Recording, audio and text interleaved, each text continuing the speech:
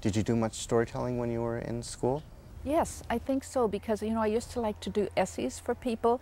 We did essays and short stories for homework, and I would do everyone's essays for them if they'd do my math because I wasn't very good at math and I could always write a good story. So I would just uh, pass around the stories, hand them out, and and um, I was pretty popular for that. They'd say that crazy girl will do your stories for you. But you have to do her math. You have to do her math, yes. Tell me a little bit about what the Seanchaí was. The Seanchaí was the storyteller in olden days in Ireland who would come around the villages and come into the cottages and tell stories around the fire.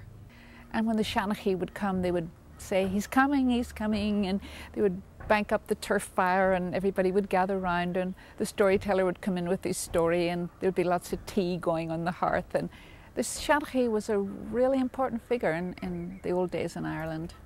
And would you have been a Seanchaí if you could have been?